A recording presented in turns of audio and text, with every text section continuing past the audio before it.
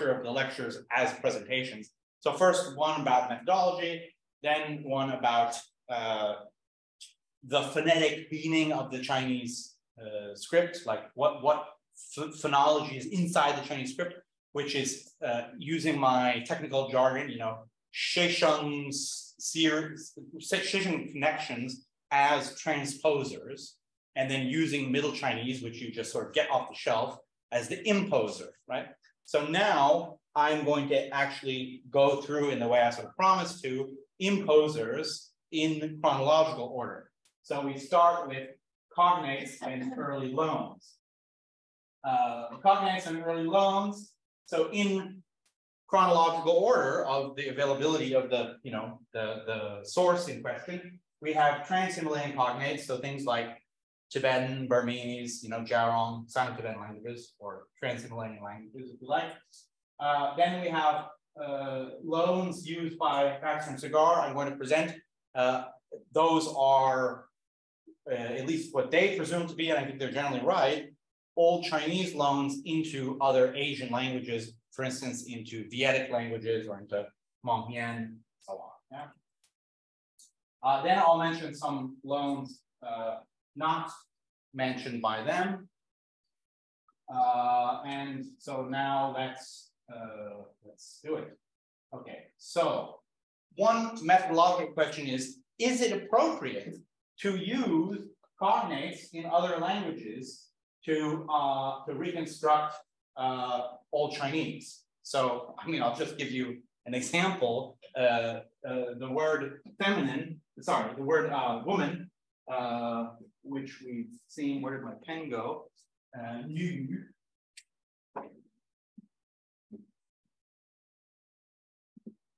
Christopher Beckwith, I think, reconstructs as buena.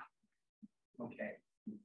And you kind of, well, like, let, let me ask you, uh, can you tell something about Christopher Beckwith's ideas of the external relations of Chinese?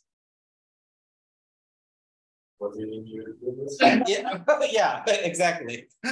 so, uh, so I think there's this there's this risk that is a genuine risk of let's call it overfitting, right? Which is that like if you think you know uh, Chinese is an Indo-European language, then you will want the word for woman to be guena, yeah.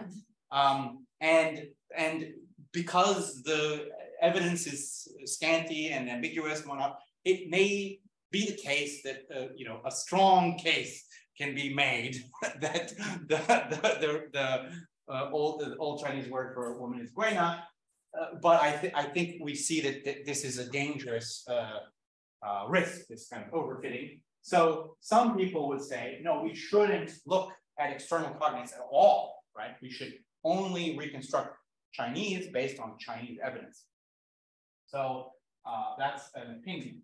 Uh, but I think it's fine to take inspiration from cognates, right? Like, like uh, in, in, in a sense, you know, if I can argue on the basis of Chinese evidence alone that the old Chinese uh, word for uh, woman was guena, then that well, then that will be an interesting finding, right? And we'll have to scrutinize my moves very carefully. Uh, but I think if if it turns out that the, I mean, here we can sort of agree with Popper, right? We can find our hypothesis wherever we want. We can do drugs. We can, you know, uh, throw darts at uh, the wall or something. Uh, if we can then make a good case for it based on Chinese internal evidence, uh, then maybe it was okay. Turns out it would have been okay.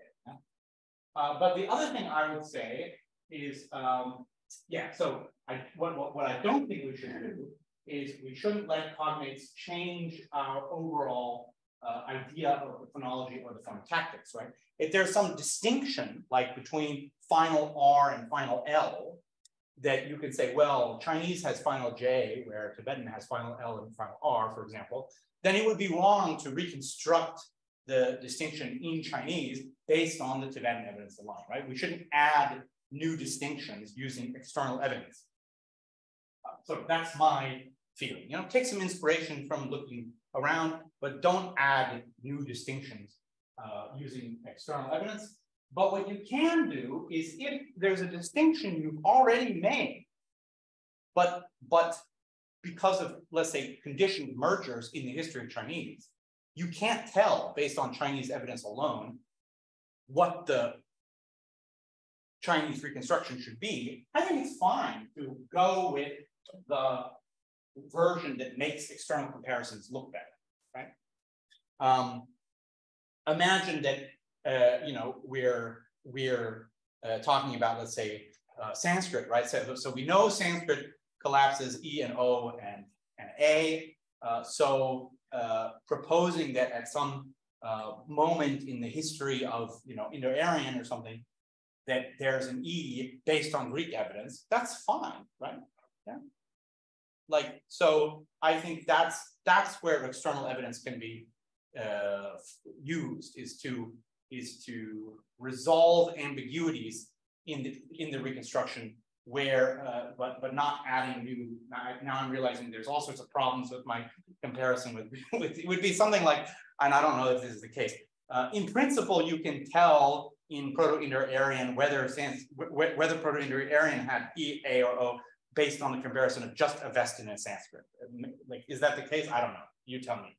Uh, but then suppose for a certain word there isn't an Avestan cognative. Yeah. Well, then why not go look at what Greek has? Yeah. And then it would still, I think that would be justifiable. Um, so uh, now I'm going to distinctions that can, on the basis of Chinese evidence, be proven to have existed. But yeah, exactly. A certain word, don't know. Exactly. Yeah, yeah, yeah, yeah. yeah. yeah. So I, I, I, mean, I'm thinking of one thing in particular, which is uh, medial R. So um, there, I, and I actually don't know the phonology well enough to really say this, but uh, let's say I think this is right. Let's say pa and pra can be distinguished very clearly. Yeah, but that uh, let's say kra and ka can't, that they merge. Yeah. So, so if you if, if if there's a given word, so the way Baxter and Sagart write that is with the R in parentheses to say, look, in this phonological environment, the kra and ka merged, so we don't know whether it had a medial R. I would say, well, look, if the if Tibetan has a medial R, just go with that, right? Because you, you're not actually adding any information to it in a sense. That possibility is already there. Yeah.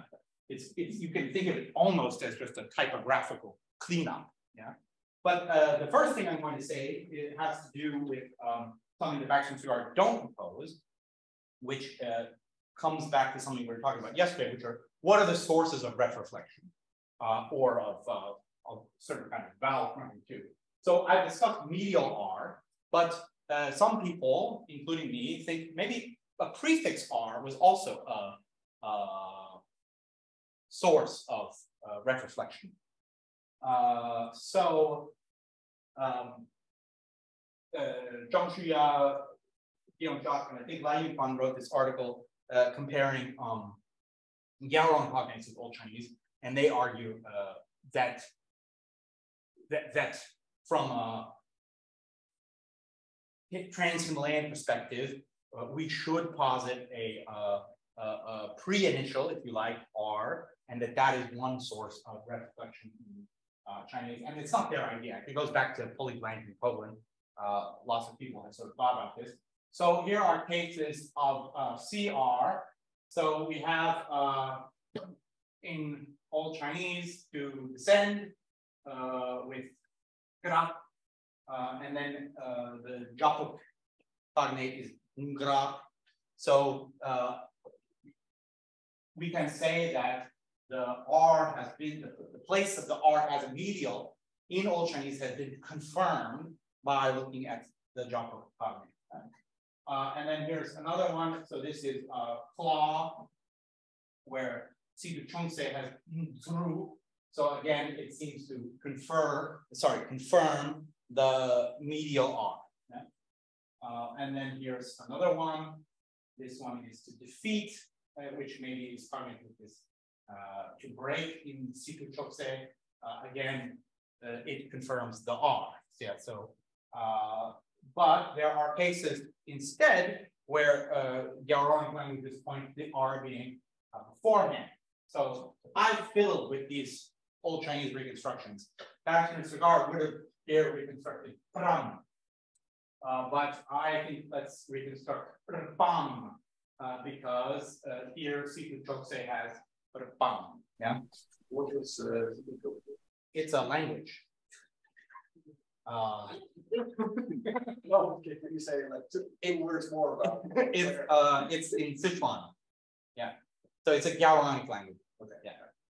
Uh, and C and Situ is there's a bunch of Situs. Yeah. So Situ is the is the kind of biggest, let's call it dialect continuum in uh the Gyalrong area. I think this is, you know, the Gyalrongists this is out there will will maybe uh, tell me I'm wrong about this, but like Japhug, uh, cross chap, these are kind of relatively small, uh, geographically distinct uh, Gyalrong varieties, whereas uh, Situ kind of is like Germanic or something, you know. So then there's various types. There's uh, there's uh, uh, Bragbar Situ and Cogtse Situ and, and whatnot. Yeah. Okay, and then here's um, uh, eyebrow. So uh, uh, has this meh. So uh, I think maybe the R is also uh, at the beginning in Old Chinese. Uh, and then we have face. So here again, uh, I try to use Japhug because you know Guillaume Jacques has been working on Japhug so much that I think it's kind of the best known Gyalrong language. Uh, so when there was a Japhug cognate, I only give that one. Uh, but when there was not, then I give one of the other languages. Um, these are all from their article, yeah. And then uh, in this case, uh, to steal or to rob, I put this one in parentheses because again, it's the you, you can't tell whether on based on Chinese whether it had it at all, yeah. But here I'm arguing if it had the R, it should be at the beginning rather than in the medial uh, in order to improve the comparison uh, with Tibetan Urku and Japhug Murku. And, and for the other cases, that Baxter and Sagart have R's too. For all, I mean, for all three. In, uh, I think so, but I would have to double check, which is that I'm sometimes a little sloppy about uh, um, all of their conventions because they have they have lots of they have parentheses, they have brackets, they have pointing brackets, which are all telling you kind of their emotional relationship with uh, their reconstruction. Like, oh, in this case, it might be this, or it might be something else, or in this case, it could be there or not there. And and personally, I feel like uh, I prefer sort of put our cards on the table and say, I think this is it, right? Because uh, partly, I think for the philosophical reason that no reconstruction is secure, right? So I, I think like, you know, you should love your children and they should say, no, I, I think it is an, an R and that's why I wrote an R there, right? No, well, yeah. Yeah. Another question related is, are these syllables where uh, the effect of the medial R could be seen or not? Uh, Does it have this effect? so that is, uh, so, so I'm gonna say for per current purposes, uh, if it's not in parentheses, then it would have an effect. And if it is in parentheses, then it wouldn't have an effect. Uh, but if, you know, if you were going to torture me, if I was wrong or something, I would want to double check them, right? No, no, well. Yeah. Third question related. Yeah. So reflection with the preceding R or medial R, that's, I think, uh, well, we will be very happy. But uh, some kind of uh, vowel effect from preceding R, that would be little bit weird. Would be weird, wouldn't it? Yeah. Yeah. That's a good point. And uh, I will keep that in mind. In these cases, uh, yeah, it's the AE is the is the vowel effect. Yeah, I was suspecting, yeah. Yeah. But there is actually something. So uh, I think it's only in. Actually, I think in the, I think here too it would have been uh, something else if it if there weren't And, and then would it become boom or, well, Uh, I think it, well, it becomes thing, right? There it is. uh, yeah, but it's uh, these ings I think would be um or something if the R hadn't been. Yeah, that's what I meant. Yeah, the Yeah. vowel would have been different. Yeah. Okay. I think I think in yes, now that I look at them carefully, in all three, I can tell you that the vowel would have been different if the R hadn't been. Uh, and Or your perhaps uh, the R was originally initial and then it swapped or something to to get the vowel. Well, maybe yeah.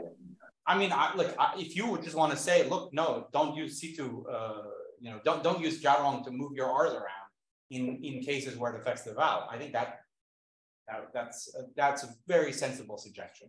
Yeah. Um, but I would also be, yeah, okay with kind of, I mean, the way I would do it is sort of say at some point, retroflection, sorry, the, the, what say, ro- roticity of it was a syllable of the, is a feature of the syllable, right? That's, I, I think basically at a certain point in the, in, in Chinese historical phonology, kind of a lot of stuff should be, like A B distinction, should be seen as happening at the whole syllable level. So we can sort of say, um, you know, plus A minus A if you want, yeah, to, to make the A B distinction. And then you could say sort of plus R minus R, something like that. This is an approach that, that I think people have been using with Tonga. And I don't know, and then it's a question of, are you comfortable with formulating things in that way? That has to do with sort of how you feel about phonology in general, right? Uh, which is, I think is a good question, good point that, that a, a pre-initial, we might expect to affect vowels less than a medial.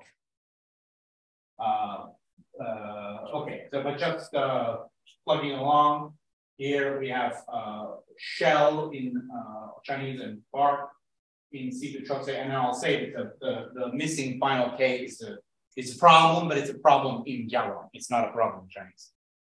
Uh, okay, so. Yeah, and then, uh, here are examples where, uh, Chinese is ambiguous, but I think the, the external cognates can, uh, make us think that, uh, there was no medial R, right? Okay, so here we have, uh, mother's brother, so some kind of uncle, yeah? And, uh, would look better than gru, uh, for comparing with aku in Tibetan or aku in, uh, Situ Prakar. So, is, so is this clear? In this case, Baxter and Sagart countenance the reconstruction of an R, although they don't propose it. Uh, and I would say, uh, based on these external cognates, let's not reconstruct an R there. I mean, I would basically actually say, if, if we're never sure whether, like, if in any instance where it's ambiguous between something being there and not being there, the default should be to not being there. Just, that's my aesthetic. But, uh, you know, anyhow. Uh, and then here is bend. Uh, so again, you know, the jump doesn't have uh, an R. Uh, and then here's belly. Uh, so I think poke compared, compared very nicely with poke in Tibetan and pop in uh, Situ Cogtse, but would not compare quite as nicely. Okay, so that was it for using external cognates to move R's around or to delete them. And now let's look at uh, how lungs are used by Baxter and Sagart. Uh, so starting with Vietic languages. Okay, so uh, other than Vietnamese, these languages are all really undocumented and understudied. So if any of you don't know what to do with your lives, let me encourage you to work on documenting, you know, uh, endangered Vietic languages. There's, you know, maybe between a half dozen and a dozen of them, uh, and they're all really locally understudied. Uh, so uh, they use uh, pre-initial K in Bro to uh, to reconstruct this K here. So they think the old Chinese word for bed uh, had a K, and basically the argument is it's, it's very simple. Is it a coincidence that Maleng Bro have a word kachung for bed, and that the old Chinese word for bed is at least zrun? Probably not, right? It's probably some kind of loan relationship, and all good things come from China. So it must be that the the poor Maleng bro got their beds from uh, you know from the central kingdom. Uh, but then, how do we explain the presence of this cup, right? Well, you could say, oh, they added it. It's some kind of noun classifier or something like that. But uh, Baxter and Sagart say, well, maybe it was already in the loan. Yeah? That's their approach to uh, looking for evidence of uh, initials, complicated initials in uh, these languages. And I, as far as I know, these examples are exhaustive, which is to say, Baxter and Sagart only use this one piece of data from Bro to reconstruct this this this K in this one example. Yeah, as far as I know. Yeah. So then in uh, such, they use it for in two cases. Uh, so again, bed. So actually, it's sort of strengthening our our hypothesis that bed a K initial, and then also in land. Yeah. Okay. So I will. Uh, so and then in Pong, uh, what's also K's. So in the word for hammer and in the word for meat. Uh, and in uh, Maleng Kapong. And apparently this Maleng is, is different than the earlier one. I don't know anything about Vietic languages, but um, so in this case, it's uh, again there. So I think, you know, let's say there, we can at least say that lots of Vietic minority languages have some kind of K initial word for Vedic uh, that's similar otherwise to Chinese books. Uh, oops, I? Okay, so we listed this one, and then here, uh, so chopsticks and slips for drilling. So uh, I don't know why this is the sort of thing that they don't they don't say very much about it. But so here they say there is some prefix, but they don't actually reconstruct it as a T even though they give as evidence of there being a prefix, this T form in um, in Maleng Kapong. And then I, I don't know, why don't they reconstruct it as a T? Do they know something about the historical phonology of uh, Maleng Kapong? I don't know. You have to ask them. Oh, that's uh, that's what I just said there in the slide. Okay, uh, and then uh, they most rely on very interesting language. Uh, and I there's no need for me to you know talk through all the forms, but in any case, these are uh, the examples from Ruc, where they think there's a loan from Chinese that in Ruc has a K prefix, uh, and that probably Ruc got that from uh, there being a K prefix in all Chinese. Uh, and then so far, I've only shown you K prefixes, uh, and so let's show you some key prefixes as well. Uh, these ones, again, from Ruc.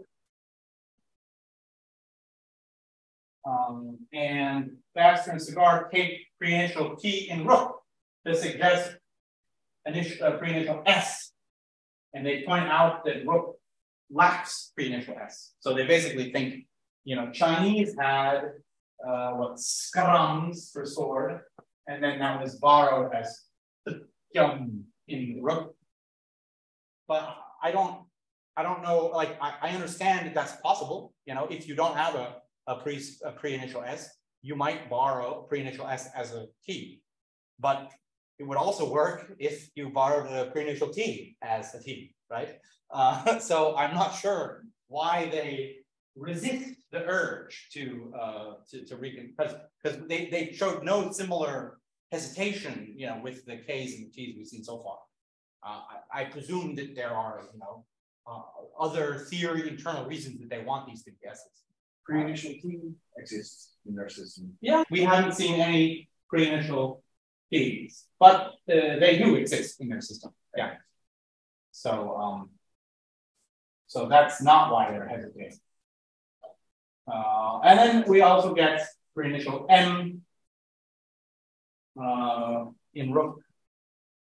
Okay, that was it for the minority languages of Vietnam. And now on to Vietnamese. Vietnamese doesn't preserve these nice uh, consonant clusters, so that's sad. Yeah? Uh, but they do preserve R and L.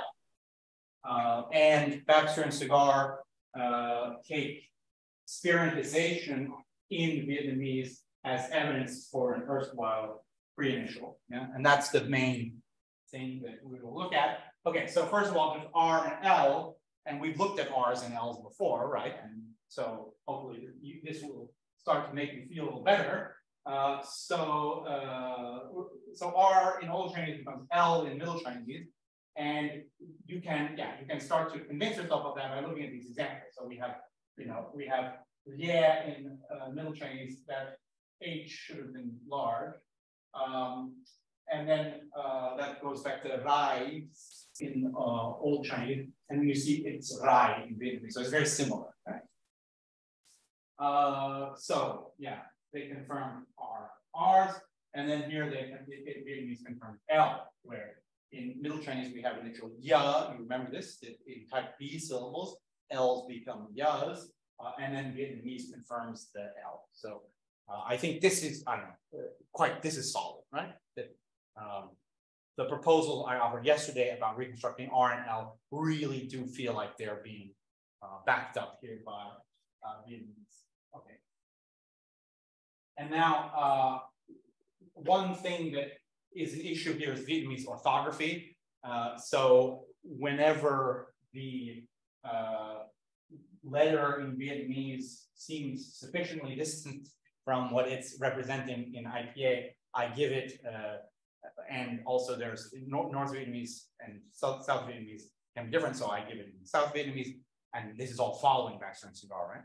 Uh, but so the point here is they're spirantized. So it's a it's a it's a fricative, uh, and they see that as evidence that uh, it, there was some pre-initial, right? That basically uh, Vietnamese loses the pre-initials, but the the former presence of the pre-initials is still uh, indexed by the fact that that um, Vietnamese has spirantized, and and Vietnamese does this of course, in inherited vocabulary, what language family is Vietnamese in? Austro-Asiatic, is that right? Uh, uh, so inherited vocabulary in Vietnamese, uh, these pre-initials are become spirantization. So they think the same thing happened. Basically, these loans were early enough that they had the consonant clusters, and then the loans also spirantized when the consonant clusters were lost. So in any case, that happens when there is a goal their uh, reconstruction? Uh, there, so the dot you can understand as a schwa. Yeah, that was actually the background of my question. So you would like this be is? Yeah, yeah. Exactly. So yeah, maybe it was. Yeah. Yeah.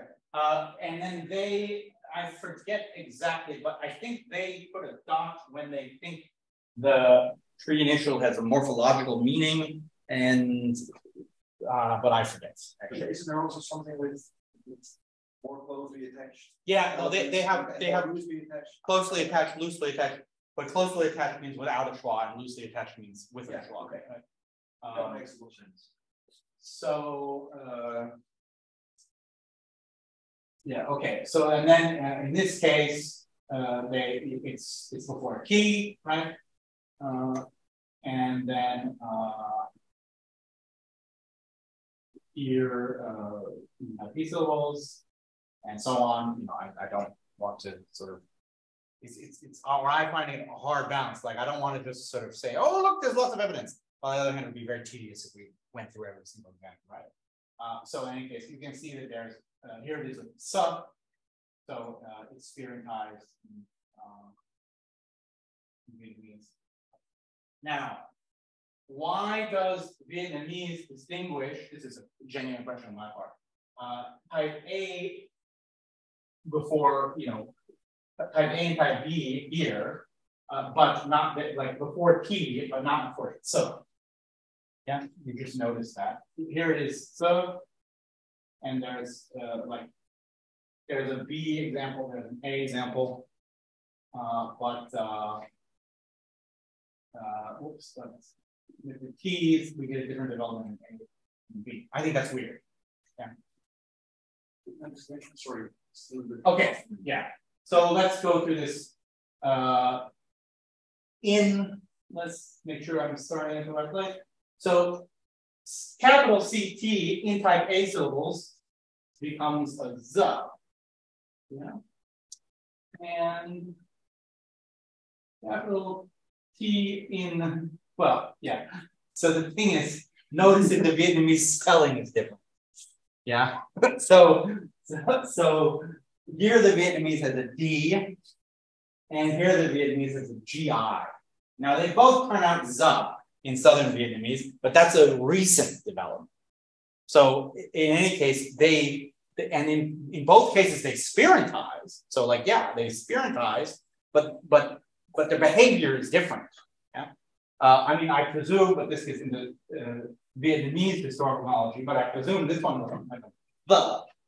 And then it's in some dialects, Vietnamese still isn't a the. I read it somewhere, but not sure where. So I think this one was a the, and then this one, well, I don't know, it's not gonna be a gamma because gamma is G, but it's, it's, it's, I think it's a palatable, like a, like j or something. Yeah, so in any case, there's this distinction that Uh, CT in type B syllables is j, and in type A syllables is the, and like that, you know, I don't know, I, I'm just saying like, that's something that I noticed when I was reading the book, and and it seems like it's. I mean, it doesn't really affect their reconstruction system or anything, but it seems worth noting that that somehow capitals, you know, like a a, a, a cluster before a T in their its development in Vietnamese behave differently in type A and type B syllables, but a cluster before TF didn't do that. Um, yeah. And uh, that's?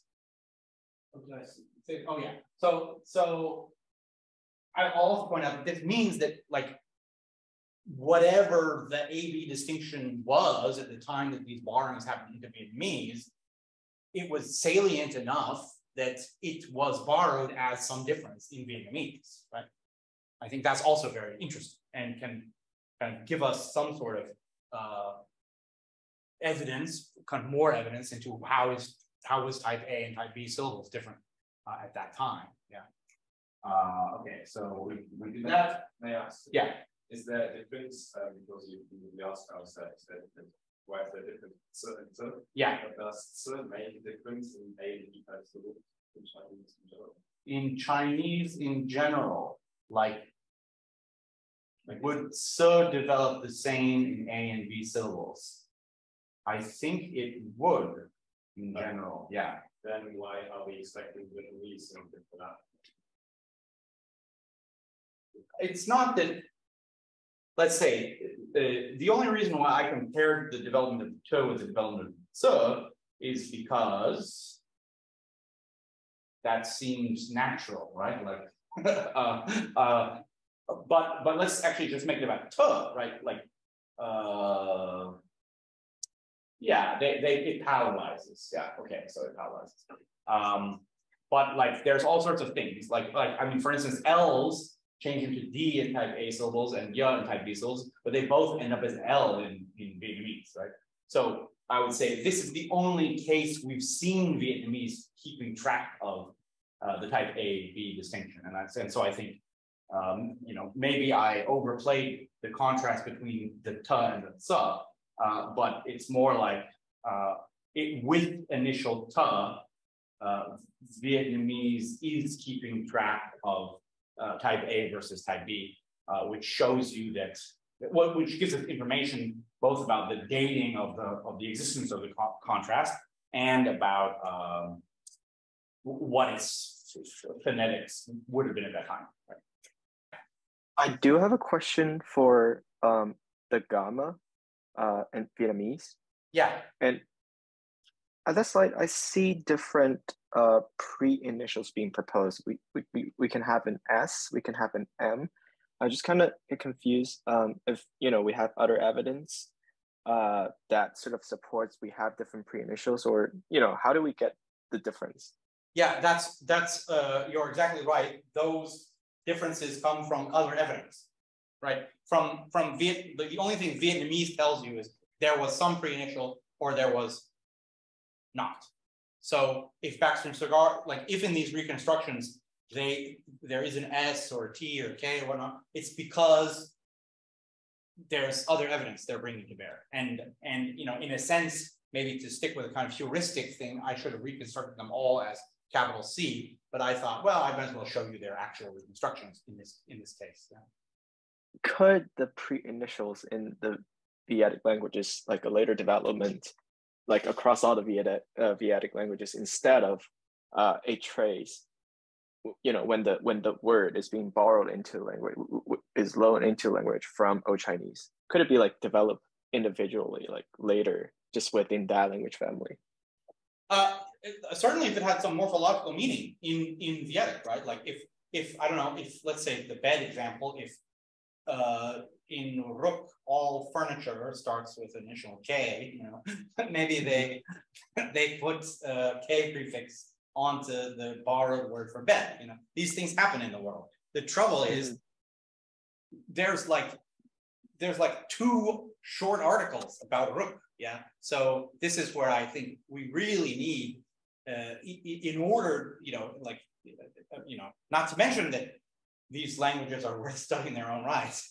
uh, but for reconstructing Old Chinese, we really need better documentation and better study of the minority languages of Vietnam. Yeah.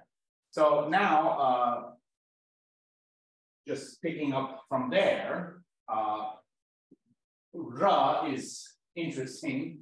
And this is a little bit, uh, again, because of the orthography in Vietnamese, uh, it's kind of tricky to follow, if you like, I think uh, because you say, oh, well, uh, what's going on, like R doesn't look like a spirantized S, yeah? Um, but, but Z does, yeah, maybe.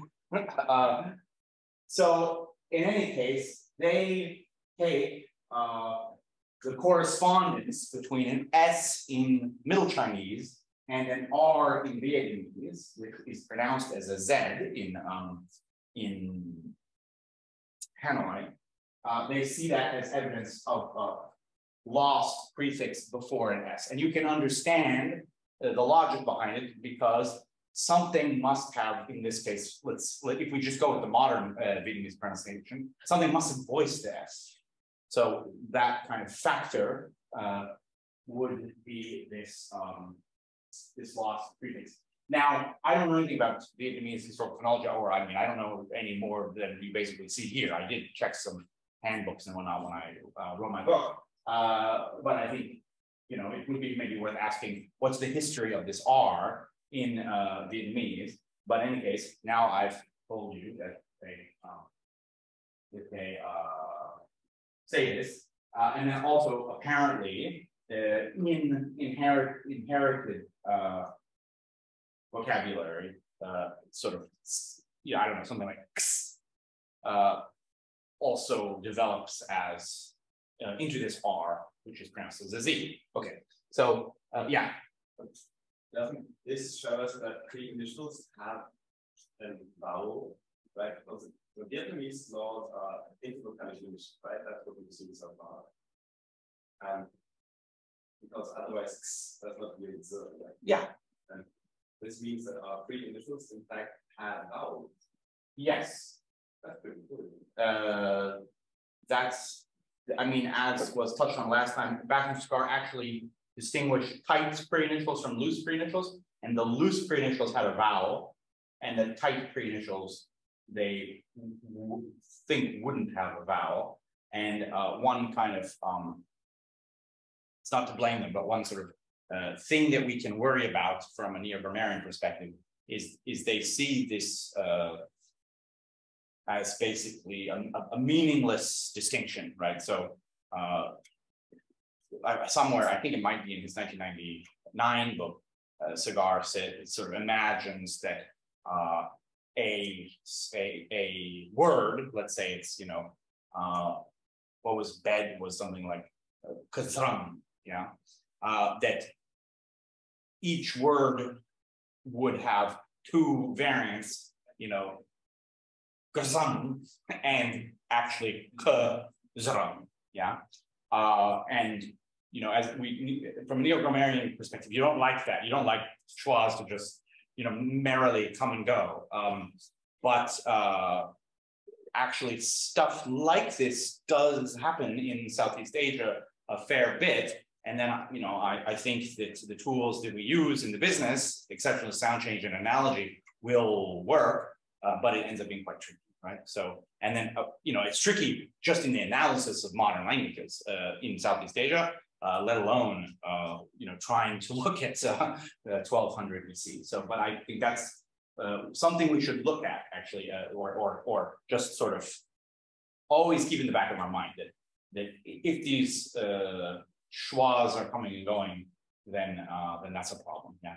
Uh, Yunfan Lai actually has worked a little bit recently about thinking of um, kind of looking at what uh, the phonotactics of a kind of full Chinese syllable, uh, which is to say one with two vowels in it, uh, would have been uh, and and thereby potentially predicting kind of which uh, uh, of these tight versus loose variants um, happen. It, it, he did this in an article that just just came out, maybe in Diachronica about lenition, I think.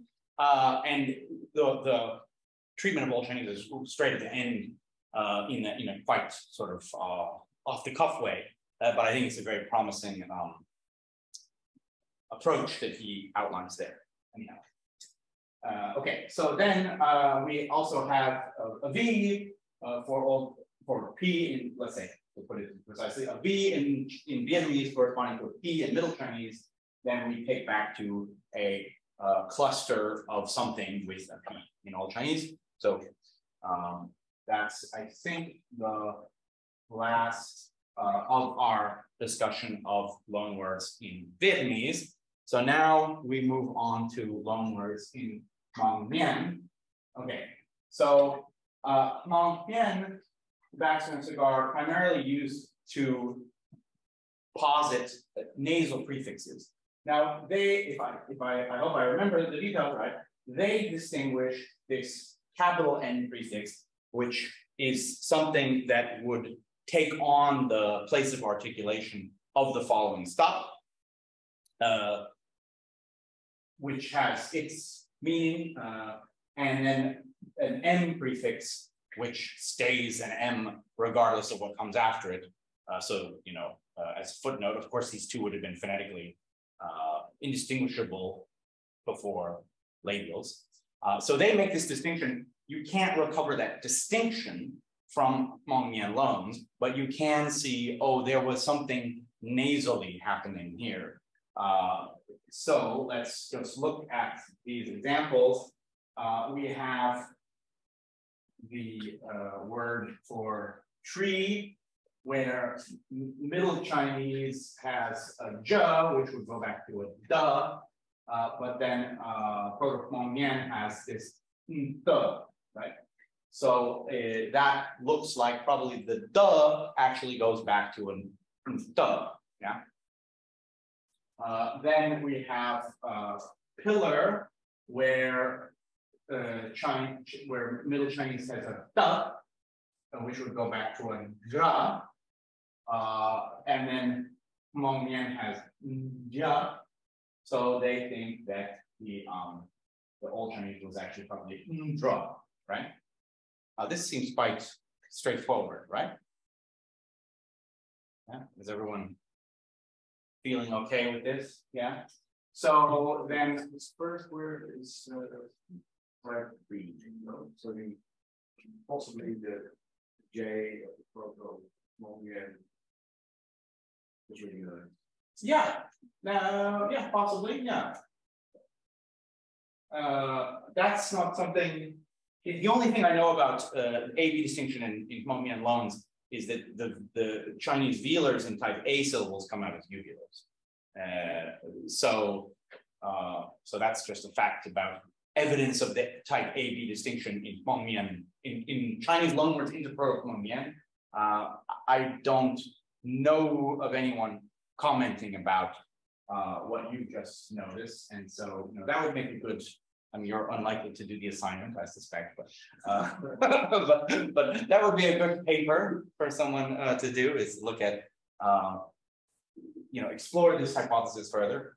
Is, is, is type B under certain conditions, uh, reflected as palatalization in proto-Hmong-Mien. Okay, so then, uh, what, so then we have this heap. Uh, actually, here's an example that I was just talking about. So the type A syllable with a velar in Old Chinese, and then it comes out of the uvular in proto-Hmong-Mien. Uh, but that's not the point here. The point is this nut, this, uh, which I'm definitely not going to try and pronounce, uh, because it's uvular nut. Uh, but so here, you know, uh, the, the kind of first pass at Old Chinese would be gut, uh, and then we think that uh, it probably ultimately is from gut. I, I, yeah, you, you, you, you're not getting the, the K here, I mean, the Q. You would expect a Q here from this reconstruction. Uh, I think that the reason that they don't stop here is probably a morphological argument. Uh, but uh, anyhow, uh, we not, we're only worried about Hmong uh, loans at the moment. Uh, and then yeah, the last one is uh, Justin. Uh, so oh, yeah, so so Nja or Njao, yeah. And this Ndrak. So uh, once again, you know, evidence of, of a nasal. Uh, the, the uh, one thing I'll just say as a kind of user of their book, uh, they get these reconstructions from uh, Marta Rat Ratliff, who is the person who's reconstructed Proto-Hmong-Mien. Uh, and her book, I don't find very usable as a non-Hmong specialist. So, and, and then like the combination of personally not finding her book very usable and then just using her reconstructions off the shelf starts to make me worried, right? Because like, um, because I'm not able to of intuitively, obviously verify that these reconstructions are correct. So then, you know, if if there's any possibility they're incorrect, then that would of course uh, mean that our use of them is also incorrect. So, so I mean, what that's hard to read.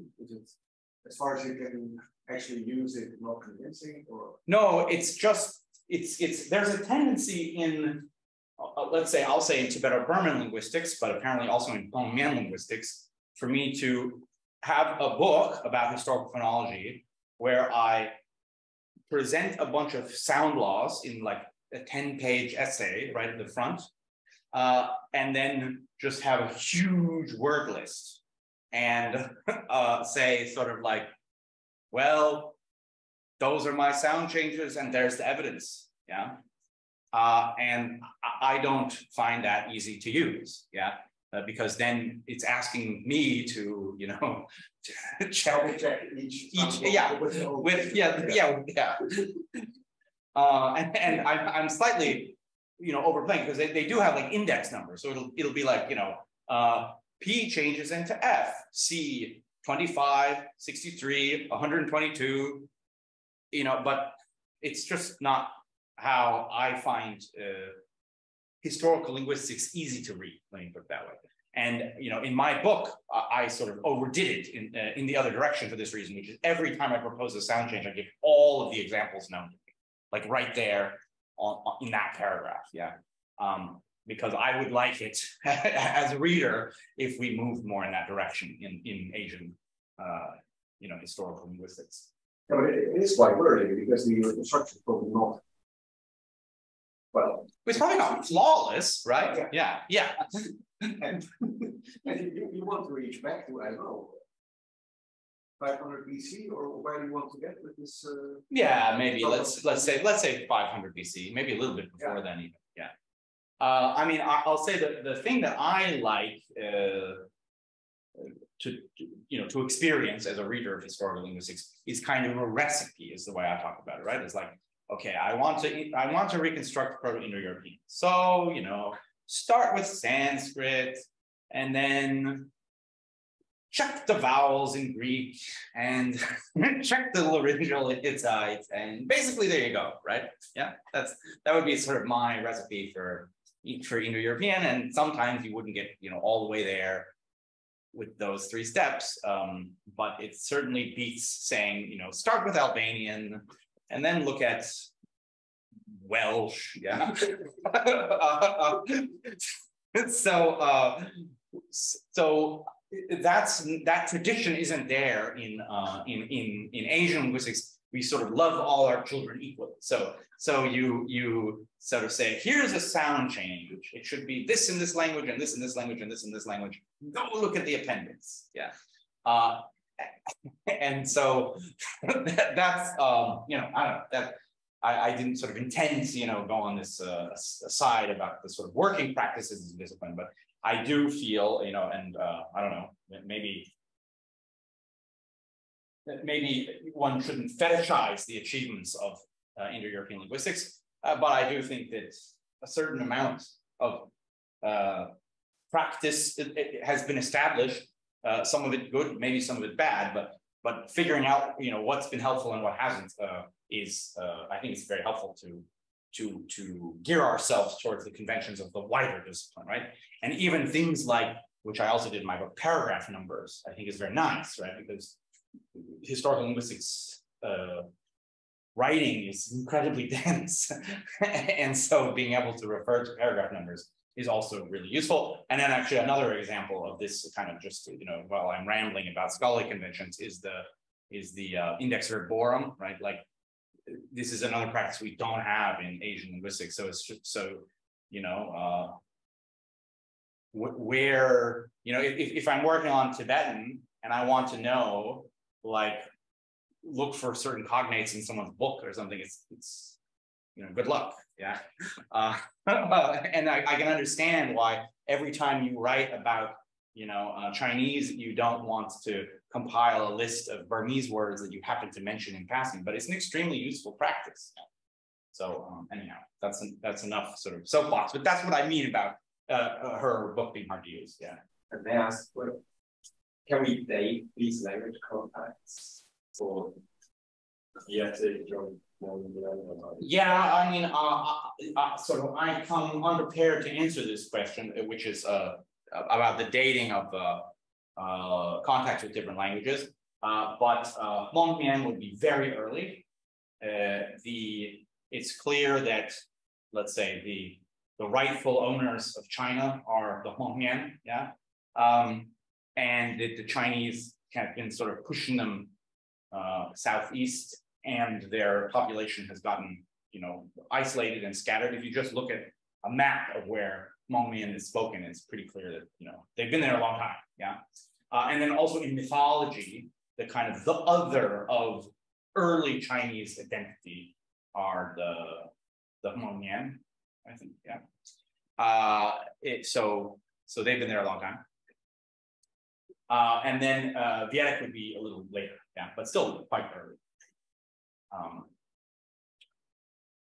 and let's, I mean, I don't know, think of it this way. Uh, I think in both cases before the Han Dynasty, right? And I think that's, you know, for, for my sort of rule of thumb purposes, a lot of things matter about, is it before the Han or is it after? Uh, okay.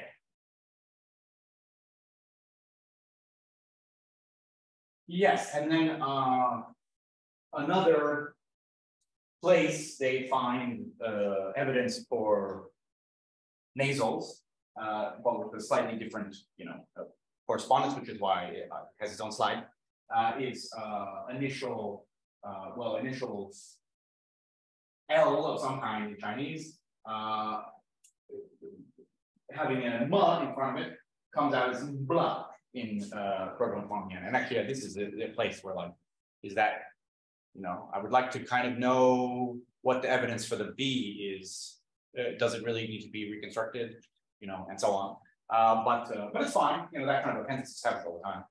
Um, so anyhow, this is a, a correspondence where uh, here they specify that we can tell it's an M, uh, probably because it's not homo-organic in um, in uh, Hmong-Mien. I don't think they they they also have evidence of, let's say, nla, yeah, uh, which is say, I think all of the evidence of nasally things before L that comes from where the evidence comes from Huang Yan is of M, but it's understandable why they feel confident to uh, to specify that it's an M because there's nothing particularly labial about uh, an. Yeah. Uh, okay. So uh, that was it for Hmong Mien, and now we look at Kra-Dai uh, evidence. We're still, you know, in as used by Baxter Sagart. So pre-initials in Lakkia. So we have paper, which uh, is che in Middle Chinese. So we'll go back to te, uh, but because of this k in Lakkia, they think that uh, there was k. Uh, and then bandit, uh, similarly, is jack, I guess, in uh, Lakkia. So they think there was a K in Old Chinese. And then last but not least, needle. They think there's a T prefix because there's a T in um, in Lakkia. And actually, uh, this is one where uh, you would say, why don't we just reconstruct the Old Chinese uh, back to T? Yeah. Uh, and the, the issue here is actually K's palatalized very early in the history of Chinese. So, uh, so in certain conditions, uh, you can't tell the difference between an Old Chinese K and an Old Chinese T on the evidence of um, Middle Chinese alone. Uh, and probably because of the xiesheng series, they're taking the the ch back to a k. Now, here actually is a place where the date of the contact matters a lot, right? Because if uh, if the K had already changed, had already palatalized before the contact, maybe this pen is just evidence of uh, what the Chinese sounded like at the time, uh, and we don't need to uh, posit this cluster. Yeah, so I think that's there are things like that that we should, you know, think about um, carefully. But uh, in any case, uh, this is what they propose. Yeah. Uh, and then uh, proto Kra, they just have this one uh, example pillar uh, where proto Kra has an M prefix. And so they put that M prefix into Old Chinese. Right. And so for this demo, you have there are two independent sources of evidence for the for the you know, so in Kra and the uh, Hmong I'm going to say yes, although I've forgotten already what we had up there from Hmong Uh, yeah. I think there were several stages. Maybe I'm confusing. Yeah, so I, I ENT became an ND. yeah, that that that I was giving, you know, earlier I was giving all the intermediate stages just to kind of make it the thinking clear, right?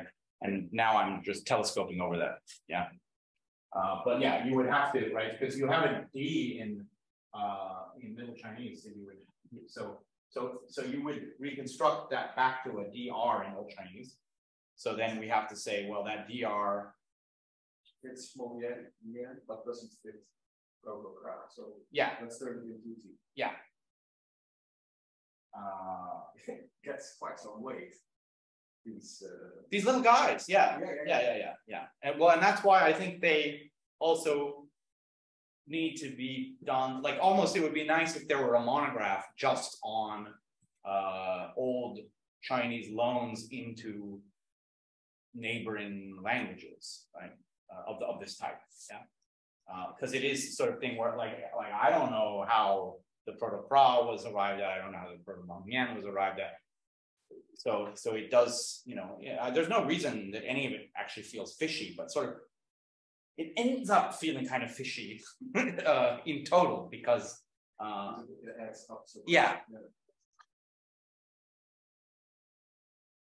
Uh, okay, so now on to loan words not used by uh, Baxter and Sagart. So this part should be, you know, in, in some ways more fun or more at least more fresh. Yeah, because if you, because if you've read Baxter and Sagart's book and you said I need more loan words, yeah, uh, then then here are some. Yeah, okay, so uh, first of all, some Indo-Aryan loans into Old Chinese, and uh, I'm going to sort of well say there should be a paper coming about out about this pretty soon, but it's been sort of in the oven a long, long time.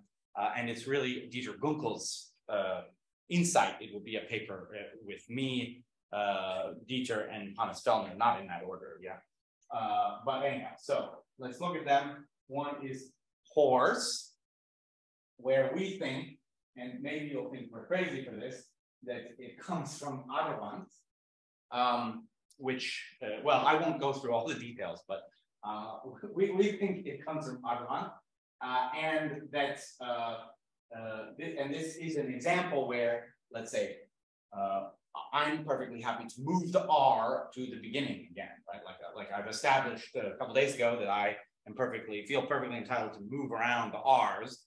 Uh, so it will make my Arvant look better if, if I can do it here, but I don't think it really matters. Uh, but I will say that like, for instance, uh, in, uh, in Tibetan, the one word for horse is ramang. So this word for horse is kind of there throughout East Asia. Uh, this is what we, we propose in any case, and I will resist the urge to go into the details and just uh, have it whet your appetite for our forthcoming paper. Yeah. Uh, and then, uh, oh yes, and like I said, that, that this, let's say, if you believe, uh, I'm, I'm trying to get the kind of epistemological steps right, right? So if you believe that the loan is real, then that would allow us to specify the place of the R in Old Chinese and change Baxter and Sagart's reconstruction. So that's what I'm going to be sort of focusing on in the discussion of these new loans is how do these new loan proposals affect their uh, reconstruction? Okay, so and then the other one is uh, is uh, the chariot word. So um, so uh, we think that comes from uh, Chakra.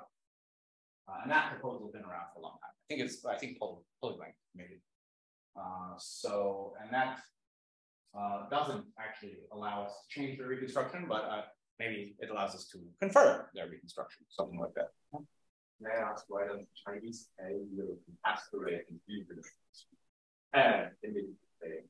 Yeah, okay. The yeah, you may ask. Yeah, I'm not going to answer that. Right. uh, uh, the the you know they didn't they didn't make that reconstruction looking at the inner area. Uh, but our feeling is uh, their reconstruction is already close enough to the Indo-Aryan to make it look quite plausible that that's its source. Uh, but then also, you know, uh, the, the chariot and the horse come together, right? And they come together in the archaeological record, and they got them from Indo-Aryan speakers. I mean, basically, that you know, in, in in our view, I think I can say it that way. The the the archaeological evidence is overwhelmingly strong in the case of of, of who they got the horse and chariot from, uh, and then the chariot word looks just at face value really similar, uh, and the horse word, I think uh, you you have to you know, be convinced by our discussion. I don't think that Arvant is is obviously really similar to the month, but I think that it does work phonetically. Yeah. Um, so now uh, Old Chinese lo loans into Tocharian, uh, and uh, here I'm relying on uh, work of, of Hannes's.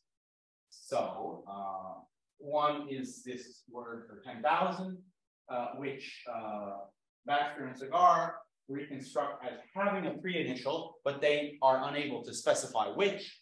But then if we look at Tocharian, it's clear that the pre-initial has to be a T. Yeah. So, uh, so this is a loan from uh, Old Chinese into Tocharian. It also looks a lot like the uh, broken Turkic one, where it's Yes, and uh, we think that's also borrowed from Chinese. Okay. yeah, and that's why it looks really similar. Yeah, uh, and uh, Hannes has an argument based on the, the historical chronology of of, of Tocharian why the Proto-Turkic word can't be the origin of the Tocharian word. Has to do with the vowels. Yeah. So um because I think it's tumun or something. And you, you, yeah, you've got a vowel in there that we don't want. Right? Neither in Chinese nor in Tocharian do we want that vowel. Yeah. Um, whereas you probably need it because probably Proto-Turkic can't say tman. Yeah. Yeah. okay. Uh, okay. Oh, I just I just uh, said that. Yeah. So it allows us to specify that this pre-initial was a P. Okay. Uh, next, there's this word Haddingfield, uh, which is crew in Tocharian and uh, Lu in Old Chinese, and um, I I think this can uh, allow us to propose a it would have to be a loose uh, pre-initial K because otherwise it would mess with the phonology. Uh, but uh, maybe the the old Chinese had a K prefix. Yeah, it seems like you know it, the Tocharian and the Chinese forms are close enough that there there must be something going on here. But then also rice culture, you know, clearly I don't think it comes from the Tarim Basin. Right? Uh, so uh, uh, yeah. So anyhow, so that allows us again to to, to add further specification to the old Chinese reconstruction. Uh, and then there's this uh, this one. So last month of the year, uh, or year-end sacrifice. Now, in this case, it looks actually like Tocharian is telling us that the extra um, consonants that Baxter and Sagart proposed maybe shouldn't be there. You know, now, of course, that's not the end of the story, right? We would have to check why is it that Baxter and Sagart proposed the initial in this particular word. And personally, I would say if it's based on the Vietnamese, it's strong evidence. If it's based on Proto-Min, which I'm not discussing at all, I think it's kind of weak evidence. Uh, and then also maybe Tocharian borrowed it after they'd already lost that consonant. You know, th there's a there's still it's not like you know we're declaring victory and and we you know have destroyed their reconstruction or something like that. But I do think it's of these cases you may with the old Chinese, of course, uh, uh, stick in stick into a layer that's actually too deep or something. Uh, you know, over reconstructing something. Yeah. Yeah, yeah. I mean that that that or I guess I'm saying there's two possibilities here. One is that uh, they're right. There was a consonant there, but that consonant was not there by the time the loan uh, came into Tocharian. Uh, and then the other option is that they're they're they're seeing things. Yeah.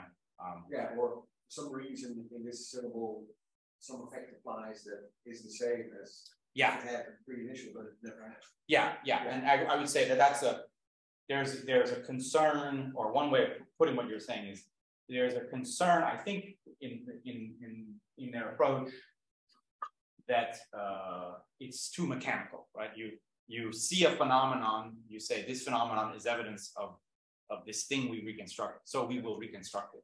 Yeah, Uh, yeah, uh, this word is reconstructed by, uh, discussed by Federico. I will, I will, uh, I will send it to you. okay, yeah, I would, I would love to. Yeah. Uh, Of course, it would be very good for us to hear the views. 人多吗？还好， Yeah, is there a question? Sorry? No, okay. Um, I mean, I, let's say, I, I do think it's, there's no question that it's a loan from Chinese, right? Because they're, the meanings are too similar, yeah? I'll check it. I think there's Iranian evidence, maybe. Oh, okay. Yeah. Suggesting a different, uh, Etymology. route, yeah. Um, well, I think that's our last example of, uh, Tocharian loans. Uh, but no, we, we get them going the other way. Now, these are of course late from a old Chinese perspective. Uh, so don't expect any, you know, wildfire, fireworks, fireworks, yeah. Uh, but, uh, this is the most uh, exciting one that actually there's a, a, a talk online, so a talk that Hannes gave in, in Ireland that uh, is on, online on my YouTube channel, uh, where actually he discussed all these examples in, in great detail, including the philology. But anyhow, this is one where where in presenting it now, the details of his talk come to my mind. Yeah, uh, where uh, I think I'll just see what's on the next slide. Yeah, so Baxter and Sagart reconstructed in this beautiful uh, diacritic filled way, right? Which means it, it could have an R or not. It, the, the development would be the same either way. Uh, and we think it was a K, but maybe it wasn't. We think it was a A, but maybe it wasn't. We think it was a T, but maybe it wasn't. Yeah. So not very confident on their part. Yeah. But uh, it's uh, so it, it means a, a, a coarse woolen fabric, and uh, the Tocharians were the the wool suppliers of the Chinese at this time, and uh, and there is this uh, word in Tocharian uh, that means you know coarse cloth, uh, and it comes from uh, this. Uh, its etymology actually is like scratchy or something in in Tocharian, yeah. Uh, and in any case, the, the Tocharian, the Proto-Tocharian allows us to specify that we don't need all those uh, brackets and parentheses. In fact, it is cut. Yeah. Okay. Uh, and then uh, honey, the honey word, uh, which there's a small secondary literature about, like, I mean, not emphasizing that it's small, it's actually large. You know, most most of these words, there's no there's no particular secondary literature about, but there's been a little bit of back and forth on the honey word. Uh, but in any event, yeah, the Chinese got honey from the Tocharians, and there you go. But in this case, it doesn't really affect the reconstruction. Well, so like uh, because some Slavic languages say including English, like the word honey is like used. Yeah, it's the same word. Yeah, it's the same word. Uh, I mean, in in English we have it as, as mead, right? Uh, and uh, in Greek it's Meli, yeah. And I mean, ancient. Uh, well, yeah. So I mean, this is the honey word in Indo-European. Yeah, the Indo-Europeans have honey, right? Did the Indo-Europeans have honey? Yeah. I think so, right? Yeah, maybe not this word. Oh, okay. yeah, because that would be meli. Oh, you're right. Yeah, yeah, yeah. That would be meli. Yeah. But Yeah. In German, it's also made. Yeah. right. Yeah. Yeah, you agree. Yeah. Yeah. Oh, right. Where this is. mm, yeah, I don't know, but th- it becomes an Indo-European problem. Like, where's the L? Did where did the Tocharians get this word from? Is it related to the to these other honey words? Yeah. All I care about right now is the Chinese Well, got no. Yeah. No, no, there's no problem here. Yeah. It's just like, is it better for, for the European to reconstruct uh, the honey one and honey two? Oh, So yeah. we just reconstruct honey next to me. Ah, okay. I see. I see. It's- Something happened uh, between Proto-European and, and Aryan, but that's all. I see. Okay. From, from me to. I see. I see. Uh, yeah, but so the Chinese got their honey from the Tocharians, and they also got their word for honey from the Tocharians. But but like I said, it's not. I mean, this is really not a very exciting word uh, from a from a political perspective. I think some people have occasionally tried to stick an L into it in the history of Chinese, uh, but that's it's the sort of thing that actually I think now the increasing communication between you know you and us, yeah, helped us uh, avoid this kind of thing uh, when it's when it's avoidable. Yeah. Okay. Uh, and then uh, asafoetida, uh, it- uh, the asafoetida word. Uh, and if you don't know what asafoetida is, you're missing out because it's delicious. Yeah. Uh, so uh, yeah, just the, it's a it's a it's it's like a powder. It comes from a plant. Uh, and if you're, especially if you're cooking Indian food, what you do is you put like three tablespoons of oil, get it really hot, and then drop some asafoetida, just a pinch. It's really strong. It has a very strange flavor. But This is it's delicious. Uh, problem too, because uh, this is from Cantonese, not, not Proto-Aryan. So the dating is. Uh, Okay, well, let's talk. I, About, I will send this to you. You can, uh, I don't know. well, let's talk about this one uh, in some detail. Yeah, because what am I doing here with this Old Chinese? I'm not reconstructing the word for asafoetida in Old Chinese. Yeah, they didn't have asafoetida in uh, 1250 BC. Instead, what I'm doing is I'm back projecting the Old Chinese for these two characters. Yeah. So uh, so it's like if they had had uh, uh, asafoetida in 1250 BC, this is how they would have said it. But but it's but for instance, I think it's clear. Like if you just allow me to pretend that the word existed in Tolkien, and I'll let you and the Tolkienists fight about that. The other Tolkienists. Uh, it's clear we need a velar here and not a uvula, maybe. Maybe I don't know. Yeah. Um, pardon? For sure. Yeah. Yeah. Uh, but this would have probably been a uh, a velar already by the time of uh, the contacts happening. Yeah. So uh, so I think it might actually work. And, and, and I think one reason these sorts of things are important is not only to decide what to reconstruct in Old Chinese, but, but when to reconstruct what, to kind of work out the actual absolute chronology of the phonological changes. The, the S may also be in the orange, and maybe they just borrowed the final sh as tone or. Yeah, yeah, yeah. No, I mean, I think that the, I was thinking that this final shell was borrowed as this S.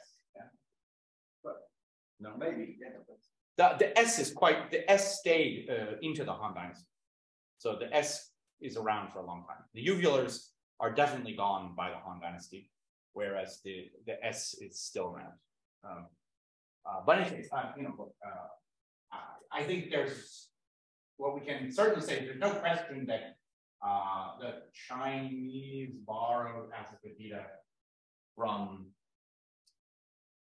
well, maybe from the Cognese, but, but from the Cognese or from the Vicarians. Yeah. Um, so what did I say here? Oh yeah. So oh yeah. So this uh, I would just uh, this is a simpler issue than the uvular velar issue, so I focus on it. Uh, there's a change in the history of Chinese that probably happened in the Warring States period of Hui to to Wei, so a kind of vowel breaking. And uh, this is evidence that we can date that vowel breaking to uh, after, sorry, to, the, the, the, vowel breaking would have had to happen in Chinese before the borrowing of uh, the word for asafoetida in order for these two characters to have seemed suitable, right? Uh, so, uh, yeah.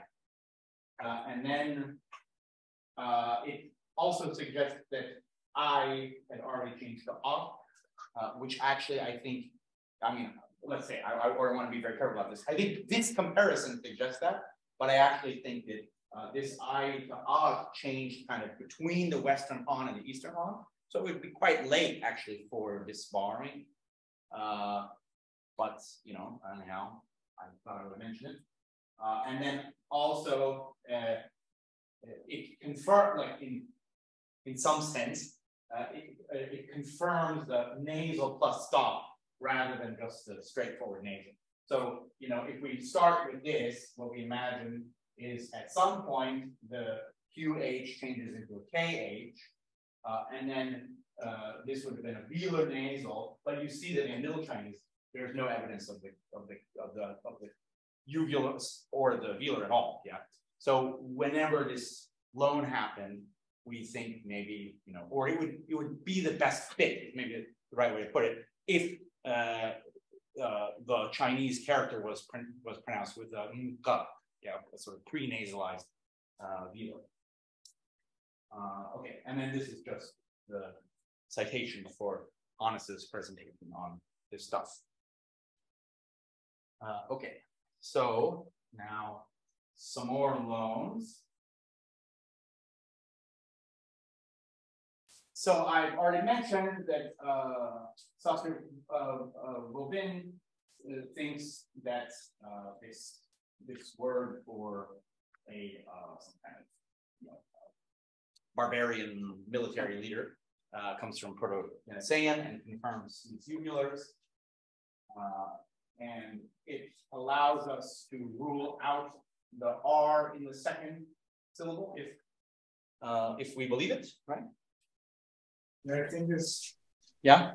Is I I, I didn't read about it some time ago and there, there was some back and forth whether this word even existed and, and uh, it's also regarded as the origin then for the, the Han uh, word. So I don't know exactly whether this proposal is still so much accepted even more like Siberian linguistics.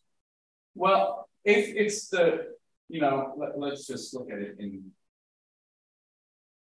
I mean, from a Chinese perspective, as long as there are some barbarians around who are using uvulars in their word for, you know, um, for in in their kind of Han word, then it's fine, right?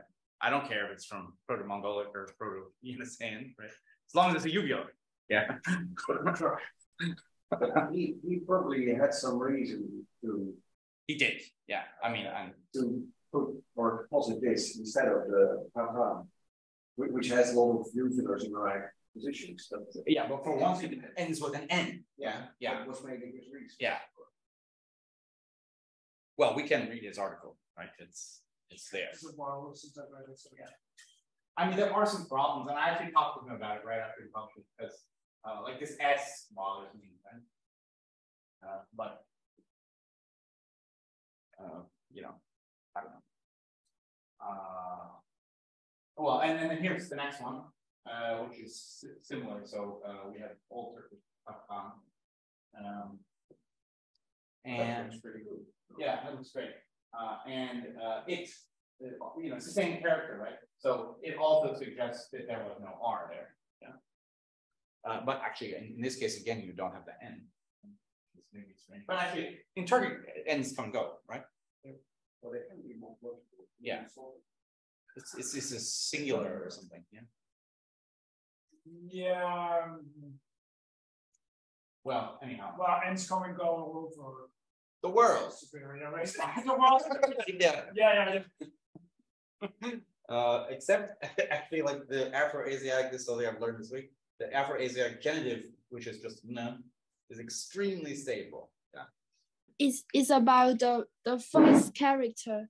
Um, is it means that when when uh when when this language borrow old Chinese, it and and we can find the evidence from it, then there then it then it shows that they borrow the R. So it's okay to let the R be put into the old Chinese um exactly. Sound. Yeah, that's exactly right. Okay.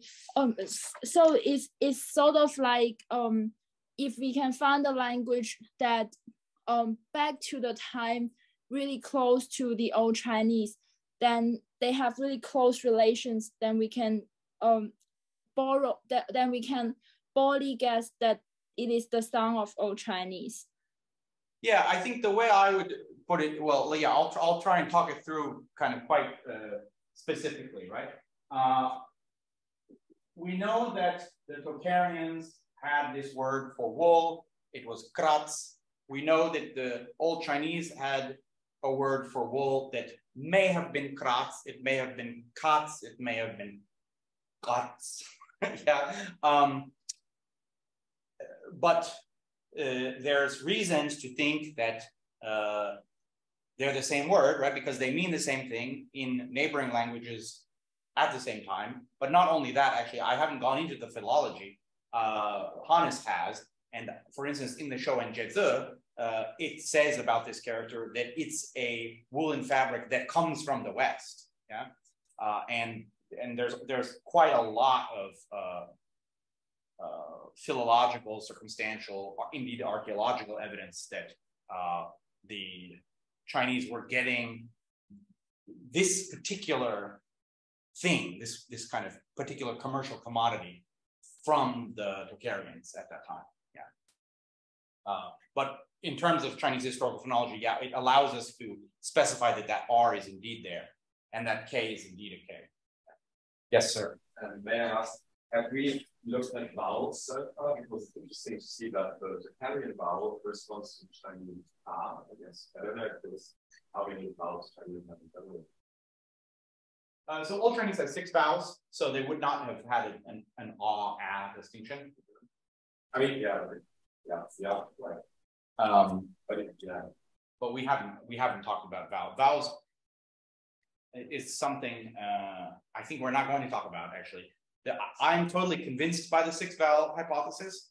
But finding a clean way of presenting it, I have found extremely difficult. I have a, a video uh, online from the course I taught two years ago. Where I made my best effort at that point.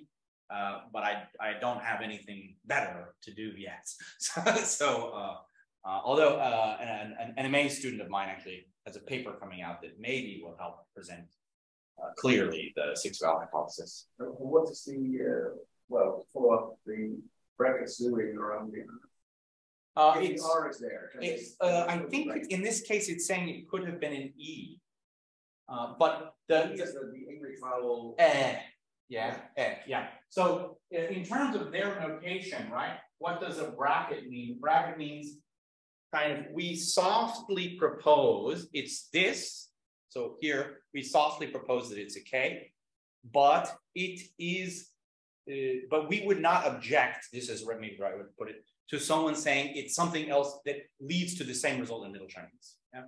And then the the thing that is kind of you have to be on your toes about is then, you know, you as the reader have to know what are the other options that would lead to the same result in Middle Chinese in that syllable position. Yeah. yeah. I would actually, for outsiders, be more practical to have, I don't know. Guts, cats, guts. cats, Exactly. Yeah. Comma, comma. I agree with that. Yeah. And you can actually like, uh, for, for, for in a different context, um. Shun Bong wrote a piece of software that does this for Vermish, where it look, it, it, it takes the attestations, looks at them, applies all the known historical phonology backwards, and then if there are eight possible reconstructions, it just spits out all eight. Yeah. And that, uh, you know, is costly maybe if you're printing these things out all the time. Uh, but, but, but I think that explicitness is extremely helpful. Yeah. Um, so, yeah. Nobody has heard uh, from Perry, but could well be more like an F vowel than an A vowel. Like that seems pretty Yeah. I mean, I mean, it's not a color term, it's, but it's, I mean, certainly, Yeah, not- it's just a, it's just a pinball. Oh, yeah, it's not ah. that was, uh, Okay. certainly not because it's strengthening of Y onset. Oh, okay, So, yeah. Yeah. What, what are the six Chinese vowels? Uh, so they're, you know, a, e, i, o, u, and e. So they're the five canonical vowels and then uh, a schwa, if you like. Yeah, it's pretty, it's, it's a lovely system, I think, yeah.